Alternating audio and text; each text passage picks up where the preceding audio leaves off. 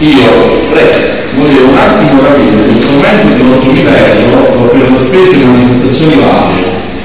Uh, a parte la parte tecnica che della sicuramente, però vedo politicamente quali sono queste manifestazioni varie, per questo incremento così sostanzioso di 8.000 euro. Consigliere,